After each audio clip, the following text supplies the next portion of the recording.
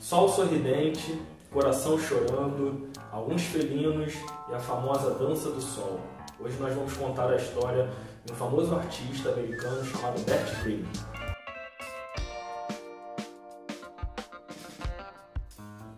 Se você um old school, com certeza você já ouviu falar de algumas clássicas imagens de Bert Green. A gente vai botar aqui no vídeo para você estar tá dando uma olhada, eu tenho certeza que você conhece algumas delas. Hoje eu vou contar um pouquinho da história desse magnífico artista e algumas de suas criações. Bert Green nasceu em 1900 em Springfield. Não é dos Simpsons, mas é um lugar no Oregon. E lá ele teve início a sua carreira, teve início com as suas tatuagens, tem muita história bacana para contar. Ele é considerado o avô do old school e desde muito jovem, ainda criança, começou a se envolver com tatuagem. Aos 11 anos começou a frequentar alguns estúdios da cidade onde vivia. Aos 12 anos fez a sua primeira tatuagem e também aos 12 anos obteve a sua primeira máquina de tatuagem, começando e dando assim início à sua carreira de tatuador, que durou por mais de 70 anos. Eu já contei aqui a história de muitos artistas da tatuagem old school que nasceram nos Estados Unidos, mas poucos deles ficaram tão famosos são tão lembrados como Bert Green por suas criações, por sua história e pelo seu legado que até hoje vem sendo tatuado. Saindo de Springfield, no Oregon, Bert Green conheceu o mundo todo e tatuou por lugares como Chicago, Las Vegas, Los Angeles, Honolulu, no Havaí e até mesmo na China. Lá ele se desenvolveu, aprendeu bastante coisa legal e voltou para sua cidade de origem. Dentre as personalidades que ele tatuou, Lionel Tuttle foi um deles e ele foi amigo também de Buffalo Bill. Eles trabalharam juntos no parque chamado The Pike. O The Pike era um parque muito famoso, onde tinha montanhas russas, trem fantasmas, atiradores de facas, artistas circenses. Era um centro de lazer e lá dentro tinha um estúdio de tatuagem onde Buffalo Bill administrava parte do parque com as suas apresentações, um dos primórdios aí do, show business, e Bert Green fazia suas tatuagens nesse ambiente. Além de ter loja no parque The Pike, Bert Green tatuou por todo o mundo em shows itinerantes e circos. Bert Green tinha um diferencial dos outros artistas da sua época porque ele tinha uma paleta de cores mais simples, ele não utilizava tantas cores, ele conseguia fazer um desenho mais fino, mais elegante, dando aí uma outra cara ao tradicional old school americano.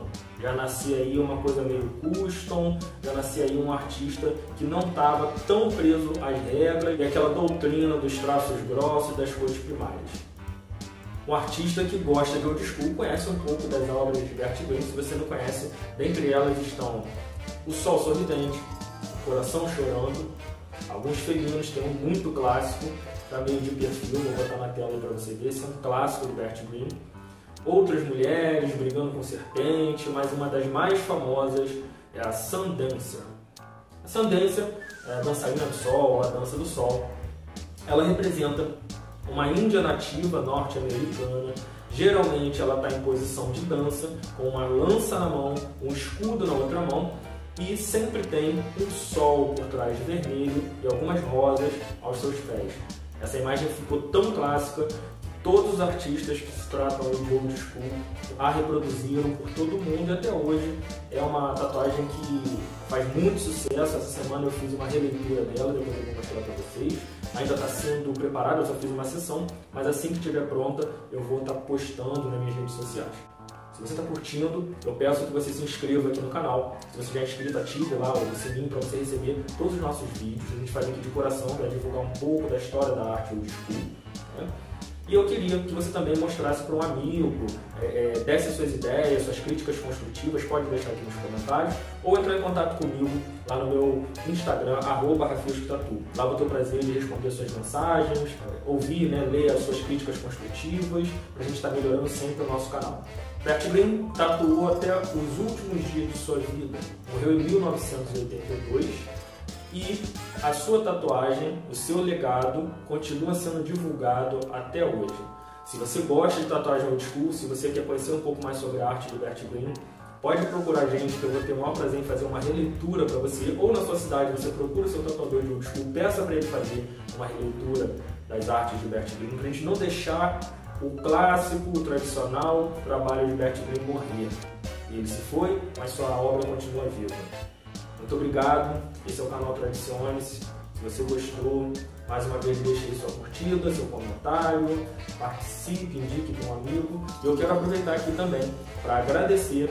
Nós chegamos a mil inscritos e isso me deixou muito feliz, porque é sinal de que a galera realmente está curtindo. Eu tenho visto todos os comentários e respondido todos.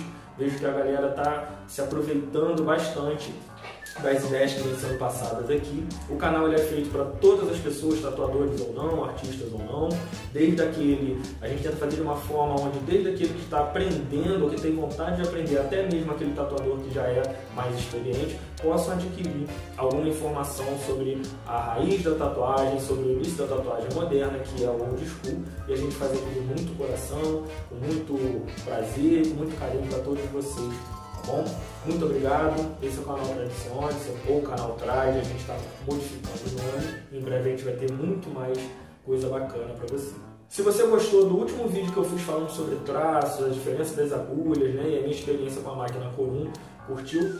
Acompanhe aí que vai ter uma novidade muito legal sobre a Corum. A gente vai mostrar uma outra linha de máquina deles, uma máquina excepcional. Em breve eu vou estar fazendo aí mais um trabalho com ela e futuramente a gente vai ter uma novidade aqui no canal que a gente vai tentar fazer um sorteio ou um voucher de desconto para você poder estar adquirindo a sua máquina Corum feita à mão, é, tanto as, as handmade, né, que são as feitas à mão, quanto a linha Black, que são máquinas excelentes também. E talvez no próximo vídeo eu já vou estar mostrando uma máquina da linha Black para vocês terem uma ideia de como ela funciona, beleza? Quero agradecer também mais uma vez Tradcore, tá? Tradcore é uma marca de roupas que trabalha com segmento old school, dá oportunidade a vários artistas e tem carteira, tem jaqueta, boné, só entrar lá em contato com eles, arroba Tradcore ou tradcore.com.br, beleza? Muito obrigado, até a próxima.